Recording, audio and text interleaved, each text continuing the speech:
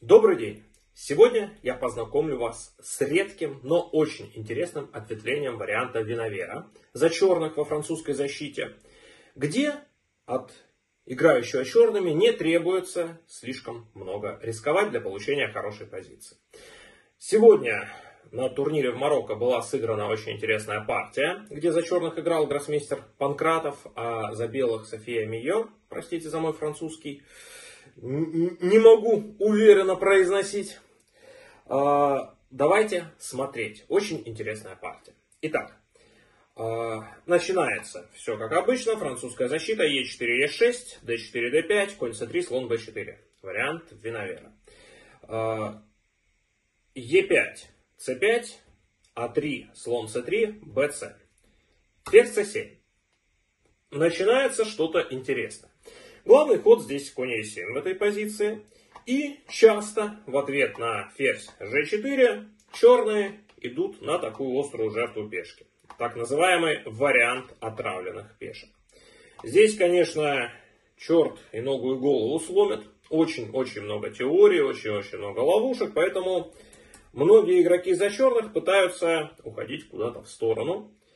Э, потому что конечная оценка по компьютеру в пользу белых, но это все еще надо выучить, запомнить тяжело. Поэтому многие сильные шахматисты играют ферзь c7. Опять же, на ход э, ферзь g4 ничего не мешает ходом конь e7 перейти к тому же самому варианту отравленных пешек, но не для этого черные играют ферзь c7. Э, ход f6. Этот ход капельку интереснее, хода f5, как играл Ботвинник в матче на Пересамира Сталем. А, чуть-чуть интереснее. Почему? Потому что а, перед белыми ставится больше проблем.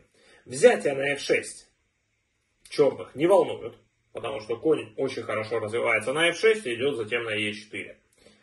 А вот на ход конь f3 происходит закрытие позиции и перевод ферзя на f7. А, ферзь перешел на f7 тогда, когда белые создают угрозу хода ef. Извините, ef. А, в чем угроза? Давайте представим, что черные пошли конь c6, белые играют ef, нападение на ферзя, кажется, есть промежуток. Ну, промежуток действительно есть, только у белых тоже есть неприятный промежуток. И эта позиция оценивается в пользу белых, поскольку у них и преимущество двух слонов, и у черных слаба пешка e6. Да, еще и линия h открылась. То есть и по пешечной структуре, и по активности фигур у белых сплошные плюсы. Играть такое черными очень-очень больно. Поэтому ферзь переводится на f7. Вот, собственно, вся суть этого варианта заключается в ходах ферзь c7, c4, ферзь f7. Да, ну и пешка f6, естественно. Белые бьют ef. Если они бить не будут, тогда черные спокойно завершают свое развитие. Коня на e7, ставят, могут пойти в рокировку, все у них будет очень-очень неплохо. Поэтому главный вариант здесь за белых вскрыть игру. ЕФ, ЖФ, конь H4. Белые играют самым точным образом. Я сам этот вариант очень любил играть где-то до 2013 года, когда меня от этого варианта отучил гроссмейстер Кокарев. Э, отучил довольно жестоко, Поскольку здесь вот как раз он э, проводил план с ходом слон Е2, а я был молодой, глупый, доверял компьютеру, не доверял идеям. И э, на компьютере высмотрел расстановку конь c6, пешка e5. Ну и, или конь g6, пешка e5 в тех или иных э, конструкциях. То есть э, шел против главной, э, можно сказать, идеи игры черных в закрытой позиции. Не открывать позицию, когда у соперника преимущество двух слонов. А, однако, гроссмейстер Панкратов здесь придумал очень интересную и точную расстановку. Вместо очевидного хода конь c6 делается чуть менее очевидный ход слон d7. А, в чем суть хода? Дело в том, что на ход ферзь c6 очень неприятны разные вариации вторжения ферзя в лагерь. Либо прямо на этом ходу, либо через несколько ходов после рокировки белых. А, почему? Потому что тут слона не развить, коня на g6, конечно, развить можно, но тоже не, не все там, слава богу. У э, черных слон d7, ход капельку точнее, теперь ход ферзь c7 не имеет никакого абсолютно значения. Почему? Потому что Черные спокойно развиваются. Слона ставят на c6, коня на d7, с развитием никаких проблем. А, белые, не мудрствуя лукаво, нападают на коня, конь уходит, слон c7. Кажется, что у черных проблемы. У белых преимущество двух слонов, у черных короля вообще некуда деть, да, никакая рокировка невозможна, но ладья g8.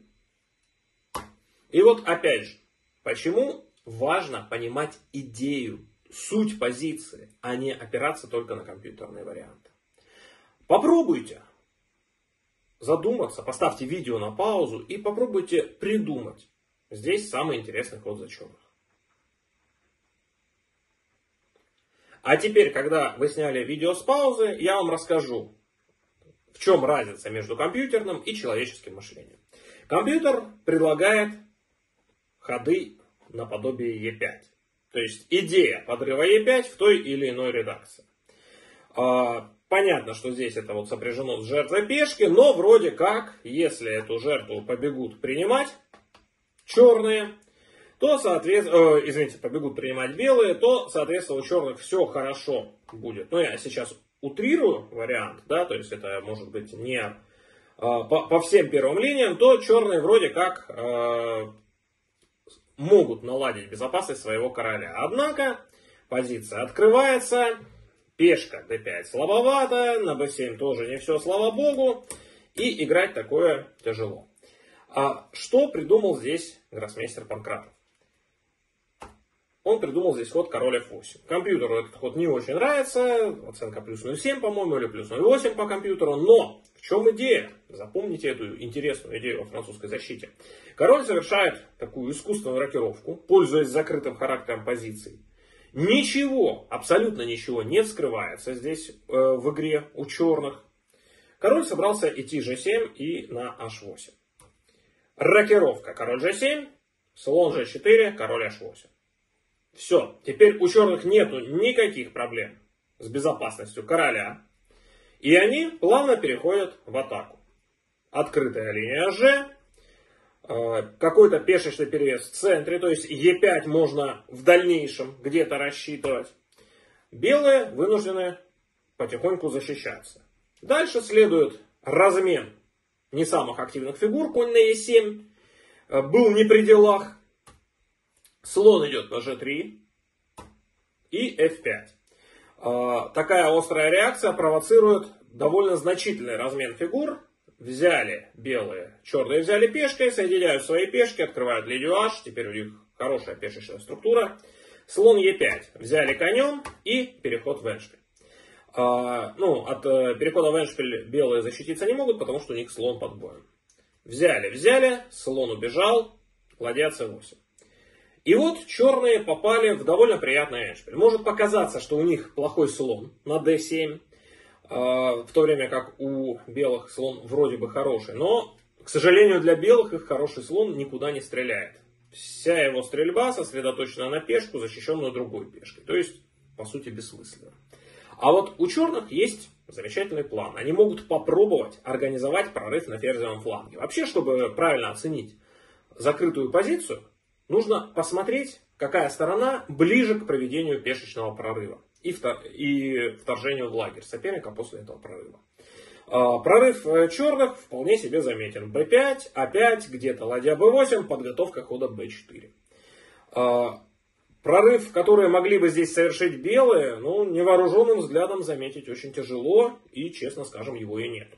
Давайте посмотрим, как развивалась партия. Будем смотреть не до конца, потому что в партии 80 ходов, и последние, наверное, ходов 30 это э, мучение белых без пешки. Но посмотрим, как э, позицию с лучшей пешечной структурой черные довели до позиции, до технической позиции с лишней пешкой, которую оставалось только реализовать. Ладья b1, ладья b8, а4, важный, кстати, ход а5.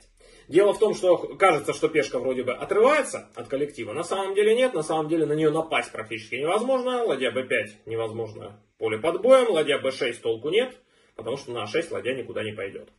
А в то же самое время пешка а4 зафиксирована под боем слона надолго. То есть ладья а1 будет всерьез думать о том, куда ей ходить.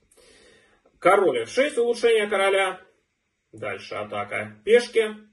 И открытая линия. Открытая линия нужна черным для чего? Для того, чтобы вторгнуться в лагерь к белым. Ладья b6, слон c6. Ладья e8, король g2. Король f6, ладья e5. А, это, наверное, ошибка. Почему? Потому что ладья большую часть партии в итоге здесь и простояла абсолютно без дела. То есть э, ладья на e6, да, при, э, извините, ладья на e5, да, привязывает черные фигуры к защите пешки e6, но не то, чтобы это было сильно страшно. Король идет на e7, король f1, ладья g8. А, плавно начинают создаваться угрозы. А, угрозы вторжения в лагерь. Э, черных. Где-то, может быть, король переведется на d7 или на d6. Где-то, может быть, пешка f пожертвуется за вторжение в лагерь. Ну, белые решили от греха подальше. Ладью убрать, бить пешку на а4 пока нельзя. Пешка b7 висит. Король d6. Ладья e1, ладья g6. То есть черные аккуратно все защитили. И белые тоже вынуждены в итоге перейти к защите. Дальше черные залезли в лагерь. И здесь белые, можно сказать, дернулись. А, почему дернулись? Буквально там через, э, сколько получается, ходов? Через несколько ходов у черных уже была лишняя пешка. Давайте мы посмотрим, как она возникла. А потом вернемся в эту позицию, я покажу, какой план черных был бы в случае, если бы белые не дергались. G4, FG, ладья А6, то есть никогда не забываем защищаться, даже когда атакуем.